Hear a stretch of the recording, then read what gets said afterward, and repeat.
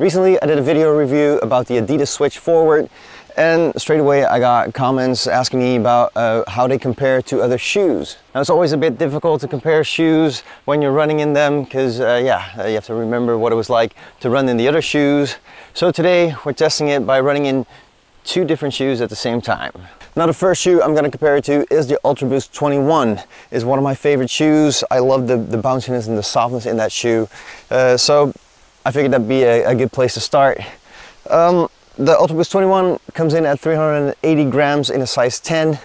The uh, switch forward is only 30 grams uh, lighter, so that's not that much, 350 grams.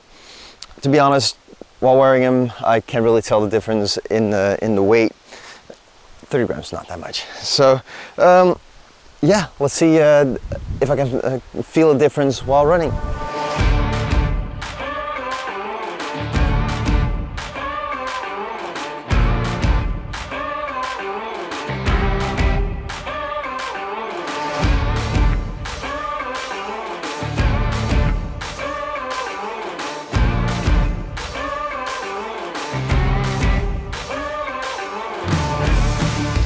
When I was recovering from my knee injury, I wanted to run in shoes that had a little bit more bounce to them, a little bit more um, softness, so that I could take the stress off my knee and uh, have more comfort during my run. Uh, a lot of times I turn to the Ultra Boost 21 because of that, because they're very soft shoes. Uh, so I can't believe that at the moment I feel like they are the, the harder shoe, the, the, the tougher shoe, because yeah, they are a very soft shoe but the, the softness and the squishiness of the uh, switch forward um, makes it feel like a softer shoe. You can actually feel uh, the shoe compressing when you step and bouncing back up. Um, so yeah, uh, I think the softness of the uh, the switch forward actually beats the Ultra Boost 21.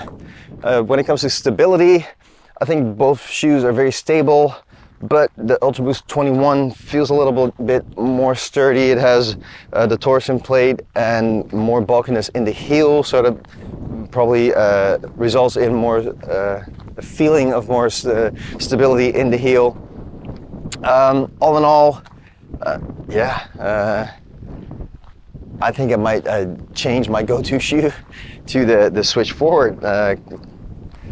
still, Ultra Boost 21 still a great shoe and I, I love running in them. But yeah, I'm loving the feeling that I get from the, the switch forward right now. Let's try a different shoe. Now the next shoe is the Nike Zoom X Invincible Run Fly Knit, which comes in at 314 grams. So out of the three, it is the lightest shoe. Uh, when I first got the shoes, it was around the same time as the Ultra Boost 21. And uh, it was very hard comparing the two, but it may have actually uh, seemed like the, the softer, bouncier shoe.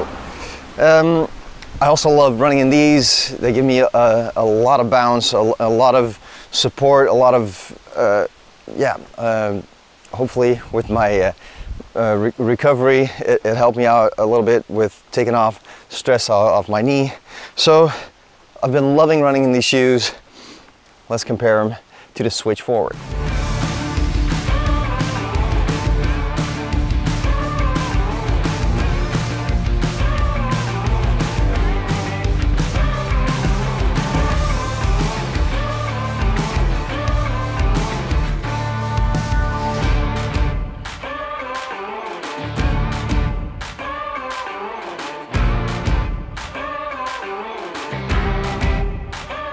Now wearing the shoes like this, there's no longer any doubt that the Nike Zoom X uh, Invincible Run Flyknit is a, a, softer shoe than the Ultra Boost 21. Uh, it was always kind of hard to compare, yeah, unless you wear them uh, with two different types of shoes. Um, that being said, um, they get really, really close to the uh, switch forward. They're just a, a different type of softness. The softness in uh, uh, the Nike is that you feel uh, the, the, shoe com compressing, you feel the, the softness, the support that it gives you. Uh, with the Adidas Switch Forward, you feel that, that compression and that release, that squishiness, if you will, and uh, it, it gives you that, that feeling of being propelled forward.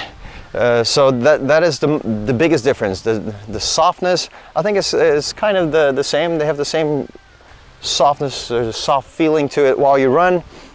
It's just more of a, a forward movement in the forward. Uh, when it comes to stability, I think the uh, the Nike um, it's a, a, little bit wider, and therefore I feel more stable running in the switch forward. Uh, when I first got the, the Nikes, the yeah, they, they seem very wide and especially in the heel. So it took some uh, some getting used to. With the the switch forward, it's also a big shoe. You're up very high. The, the sole's very high, but still, I, I feel very stable running in it. So all in all, yeah, Adidas, uh, well done on the shoe. I think uh, between these three shoes, if I had to uh, pick one shoe, if I was just buying one pair of shoes, uh, I would actually go for the new Adidas Switch Forward. They're a very comfortable, very stable shoe, and I'm loving that uh, squishy feeling in the shoes, that propel system that moves you forward.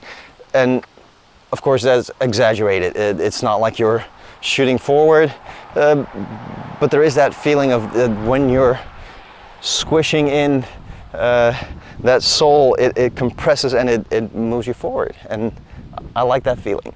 So out of all these shoes, I think, uh, yeah, Adidas, well done. I'm loving my new shoes.